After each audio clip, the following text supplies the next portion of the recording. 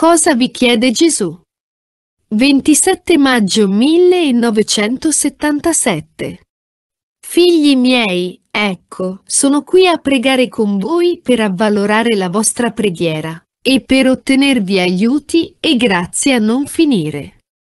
Sono la madre di Gesù e madre vostra, e chi più di me è desiderosa del vostro bene. Ogni mamma vorrebbe per i propri figli costruire un palazzo e metterci tutti i beni della terra.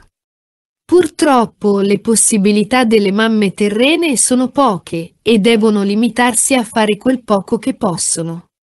Io sono una mamma onnipotente per grazia e tutto ciò che i miei figli mi chiedono per il loro maggior bene in relazione alla salvezza eterna, io posso concederlo. Ecco perché vi invito a mettere come intenzione a queste preghiere comunitarie che fate e che farete in mia compagnia, anzitutto la salvezza delle anime. Oggi voi avete avuto una chiamata particolare. Il mio Gesù ed io vi abbiamo voluti qui, perché abbiamo qualche cosa da dirvi. Un giorno Gesù chiese a Pietro, Pietro, mi ami tu? E gli rivolse questa domanda per ben tre volte. Oggi, noi vogliamo rivolgere la stessa domanda a ciascuno di voi. Voi risponderete che amate me e amate il mio figlio, ed io vi dirò, se mi amate, dovete imitarmi. Se amate il mio Gesù, dovete fare ciò che egli desidera da voi. In che cosa mi imiterete? Ecco, figli, venite con me nel cenacolo dove io andai con gli apostoli e con alcuni discepoli in attesa dello Spirito Santo. Che cosa si faceva? Si pregava e si pregava bene. Questo dovete fare per imitarmi.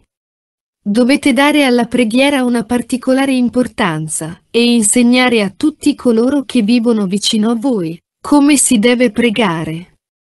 Desidero che la vostra preghiera sia umile e raccolta, proprio come quella che noi facemmo nel cenacolo. Da questa preghiera deriveranno beni immensi, ma soprattutto la luce dello Spirito Santo, che deve alimentare, fortificare e fecondare la vostra vita spirituale. Ma qui c'è anche Gesù, che in risposta dell'amore che dichiarate di avere per Lui, vi chiede di fare ciò che Lui vuole. Che cosa vi chiede? Che abbiate ad amarvi vicendevolmente per poter fare del bene. Dove c'è amore, c'è Dio.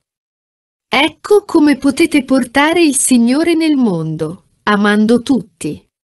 Il primo passo lo dovete fare in famiglia, dove dovete essere pronti a sacrificarvi per gli altri e dove dovete essere portatori di pace.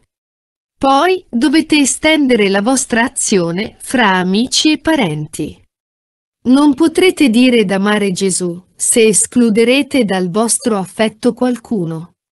Non potrete dire che vi sono persone a voi antipatiche o cattive che non volete amare, perché queste persone sono miei figli e sono fratelli di Gesù, per i quali egli è morto sulla croce. Dovete allargare il vostro amore fino ad imitare Gesù, che amò anche coloro che l'avevano messo in croce. Amare significa anche perdonare. Vi sono molte persone che pensano di essere buone, mentre covano nel loro cuore rancori, invidie e odio. Costoro non potranno mai dire di amare Gesù e non saranno nemmeno in grado di ottenere da Lui il perdono delle loro colpe. Quale situazione difficile si crea tra l'anima che non sa amare e perdonare e Gesù, che sarà giudice severo ed inesorabile. Così, facendo quanto vi ho detto in questo nostro incontro, meriterete che io vi allarghi le mie braccia per accogliervi e portarvi al mio Figlio divino. Ora vi benedico tutti ad uno ad uno. Benedico le mamme, a cui darò grazie speciali e i bambini che guiderò e proteggerò.